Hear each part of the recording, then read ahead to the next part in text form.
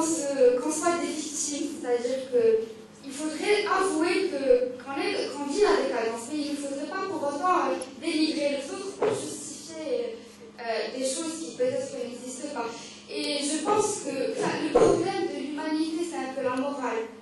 Donc, d'où vient la morale? Et j'aurais bien aimé que vous parliez de, ce fossé-là entre la science et, la morale, et, je pense que c'était primordial. Et euh, donc, euh, ce que je pourrais dire aussi, c'est que euh, Ramadan,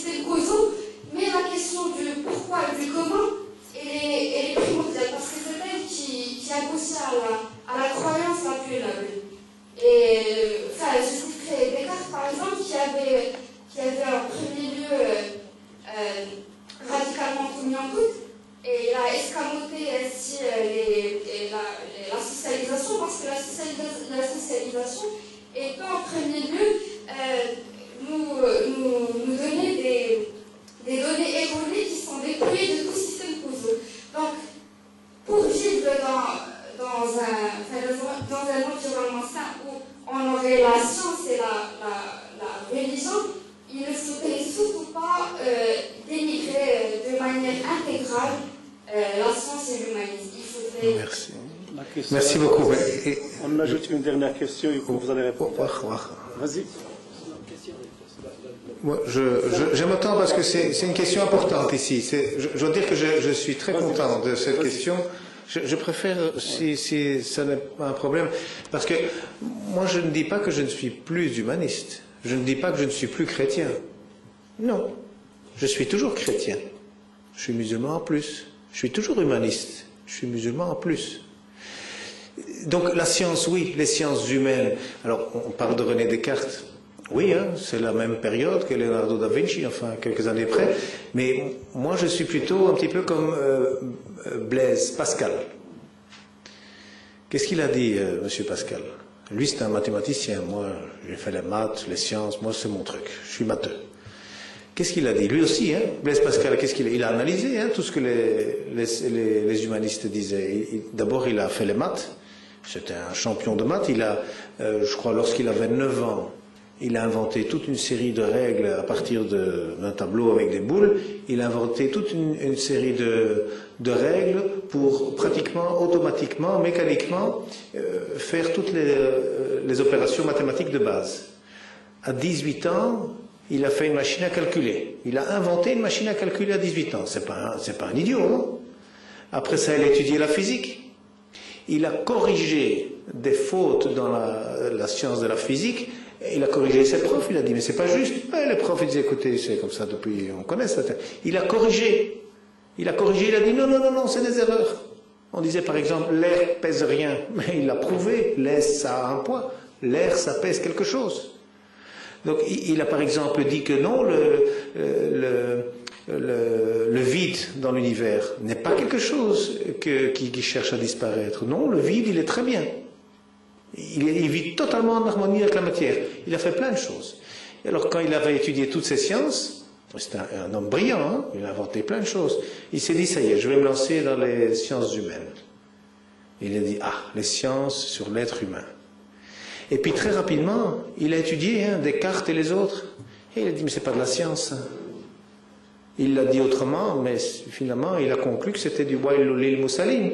C'est toujours des morceaux qu'on prend à gauche, à droite, mais non, ce n'est pas aussi mathématique, aussi euh, scientifique euh, au, sens mathématique du terme. C'est pas comme ça qu'on met de l'eau euh, avec, avec du sucre et voilà, il y a une partie du sucre qui va se mettre entre les molécules de l'eau jusqu'à ce que l'eau soit saturée et le restant du sucre se mettra en bas. Non, ce n'est pas aussi mécanique. les sciences humaines, c'est beaucoup plus complexe que ça. Mais il a vu que tous ces humanistes, eh bien, ils se contredisaient. Donc moi, je ne suis pas contre l'humanisme. Je suis moi-même un produit de l'humanisme. Donc je ne vais pas renier mes origines. Mais j'ai dit non, c'est pas assez. Ça ne répond pas à toutes les questions. Euh, même le professeur Vermeersch dit il serait très bien, dit-il, de développer, de faire de la recherche, mais il faut beaucoup d'argent pour ça, pour développer quelles sont toutes les règles qui sont idéales entre les êtres humains. Oui, ça serait formidable, mais quelle merveille mais moi, mon expérience, c'est qu'à travers tous les problèmes que moi j'ai rencontrés, j'ai pas eu tous les problèmes, hein, mais j'en ai eu beaucoup. J'en ai eu, moi. Et j'ai retrouvé brusquement, j'avais cherché, hein, et Kant et Descartes, et je cherchais, et, Épicure, et puis Platon, et je cherchais, j'ai lu. Et puis je suis tombé sur le Coran. Mais je dis, mais c'est quoi ça? Ah, qu'est-ce qu'on dit? Quand quelqu'un vous ennuie, quand la famille vous ennuie, vous ne supportez plus? Bismillahirrahmanirrahim. Inna atainaka al-kawtar fasali rabka wanhar inna shanaka al abtar. Mais quelle façon pacifique de réagir au mal que les gens vous font autour de vous. Vous dites, ça y est, je suis fantastique, vous avez nettoyé, faire la prière, lire de bons textes, et puis vous allez aider quelqu'un qui est dans la misère, et puis, c'est vrai, j'ai pratiqué ça. Ceux qui vous font du mal, vous n'y pensez même plus. Mais est-ce que vous connaissez, vous, une façon plus pacifique, du côté scientifique humaniste, de résoudre un problème de conflit, par exemple dans une famille, telle que moi je l'ai eu? J'ai toute la famille contre moi. Ouais, c'est quoi? Il envoie de l'argent au Maroc. Ouais, un jour j'étais venu au Maroc, j'avais fait un virement pour payer un appartement. Il envoie de l'argent à Al-Qaïda. attention, Michel. C'est quoi ça? Toute la famille contre moi, ils ont fait de la fraude pour me voler des choses, mais ils vraiment, hein, ils m'ont volé des choses. Hein. Je me dis, mais c'est quoi ça? Oui, moi j'ai appris, hein. ah oui, tu me fais ça, je vais te faire ça, ah, tu me fais un procès, je vais te faire un procès. Et j'ai vu non, et puis j'ai vu ma mère devant tout ça, j'ai dit, c'est quoi ça? Mes frères qui déposaient plainte contre moi, je me suis défendu en justice, j'ai obtenu raison, mais, mais je dis, non, non, non, non, maman, elle souffre, je ne peux pas faire ça j'ai vu que ce n'était pas une solution. Même si j'obtenais raison. Parce qu'il y a avoir raison et obtenir raison, ce n'est pas la même chose. Mais je préférais avoir raison plutôt qu'obtenir raison. Qu'ils obtiennent raison eux-mêmes, je m'en fous. Mais la vraie raison, c'est d'être bien avec sa mère. C'est d'arrêter tout ça. Pour que la mère arrête de souffrir. Et ça, on ne le trouve pas dans l'humanisme. On le trouve dans le Coran. Et ça veut dire que moi, j'ai vu l'humanisme, oui, hein, exact toutes ces sciences, oui. Il y a des tas de choses qu'on a prouvées avec des statistiques, avec des enquêtes, des, les psychologues, ils ont fait des tas de règles. Moi, j'ai appris tout ça. Ah, Freud, formidable, hein, tout ce qu'il a écrit. Mais euh, il y a encore plus dans le Coran. Il y a des compléments dans le Coran qui sont mais vraiment. Allez, si on n'est pas d'accord avec le Kautar et qui continue à dire des méchantes choses, vous passez clic el humazat. Laissez-les s'enfermer dans leur bazar, dans tous leurs mensonges. Ça y est. Ils vont se coincer, se faire du mal eux-mêmes. Où est-ce que vous trouvez ça? Chez Descartes, on trouve ça? Chez Socrate, on trouve ça? Chez Platon, non. Ce que je veux dire, c'est que je ne suis pas contre l'humanisme. Cette réflexion, c'est bien, mais comme a dit Leonardo da Vinci, il faut rendre cette culture et cette science et ces religions, il faut les rendre accessibles, faciles à apprendre et faciles à appliquer. Et ça, je peux vous dire, euh, je vois souvent des Marocains qui disent Ah oui, Muskin, nous on fait pas ce qu'il faut, on a des musulmans qui font pas de bonnes choses, et ah là là, ils font des mauvais, ils font des vols, ils font de la décadence, ils, ils boivent de l'alcool, ils font des bêtises.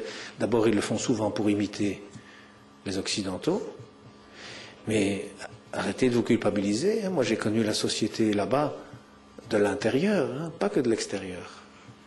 Et moi je croyais que j'arrivais ici chez les musulmans, je me dis, oulala, là, là, ça va être grave.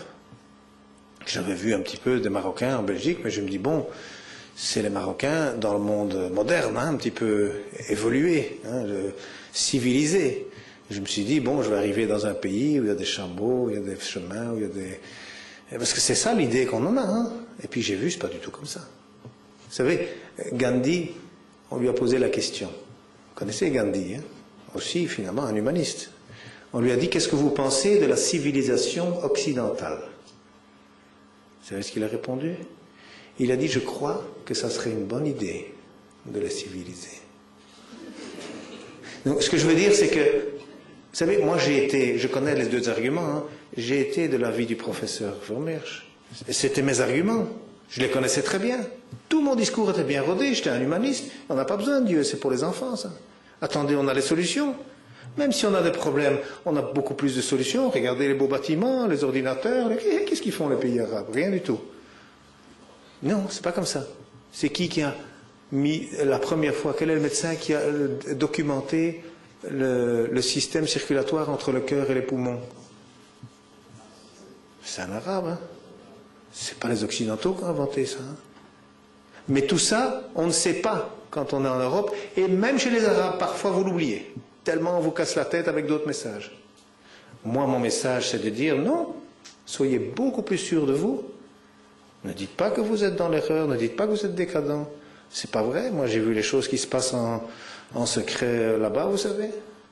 Moi, j'étais dans les familles où, euh, ah, des bonnes familles, bien et tout, et puis brusquement, on voit le monsieur, on voit comment il traite sa femme. Sais quoi, ça? Donc, je veux dire, euh, en tant qu'enfant, j'ai vécu tout ça. Hein. Donc, il y a, des choses que parfois on ne voit pas de l'extérieur. Et tous ces, tous, ces, écrivains, ils ont écrit des tas de choses. Et je vous dis, ils n'ont pas terminé, hein, ils continuent. Ils continuent d'écrire pour réfléchir comment est-ce qu'on doit faire pour bien organiser la société, pour, avoir de bonnes règles, pour que tout le monde vive heureux.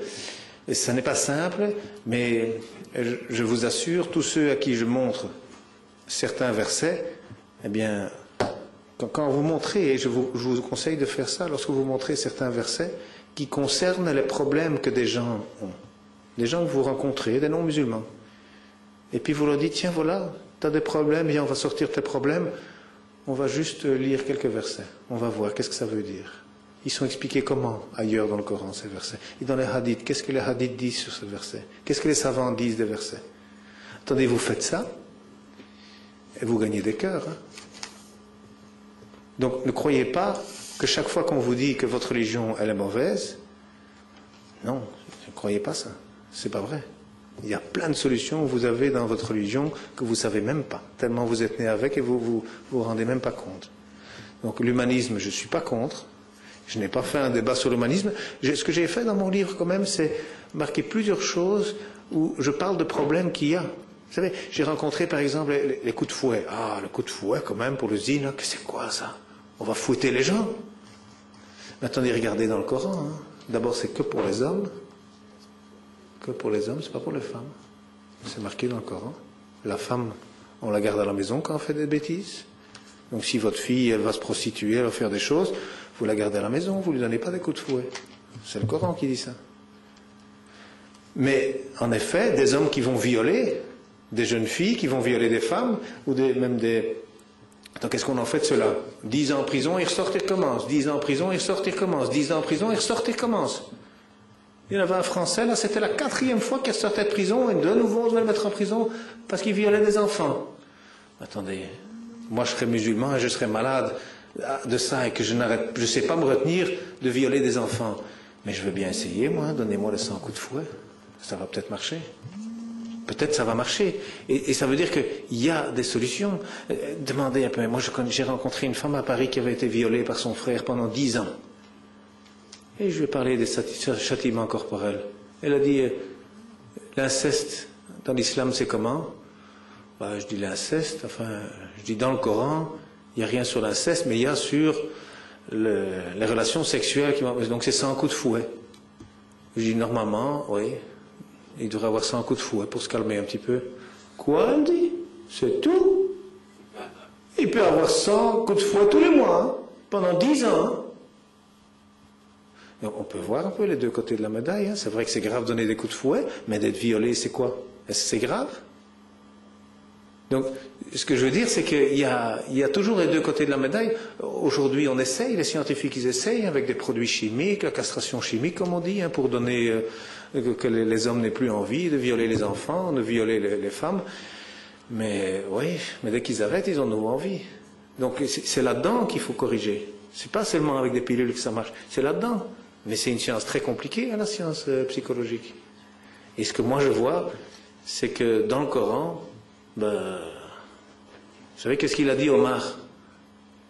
Euh, je crois. Je crois que c'est Omar ou est-ce que c'est Abu Bakr? Euh, On lui avait rapporté qu'un frère avait violé sa, petite sœur. Mais il a dit tuez-le. Parce qu'il y en a qui sont parfois tellement malades, mais c'est grave. Hein c'est ma petite sœur, et puis il est à la maison, et puis ah, il y va, il la frappe, il dit allez, c'est amusant, viens, on va s'amuser un petit peu.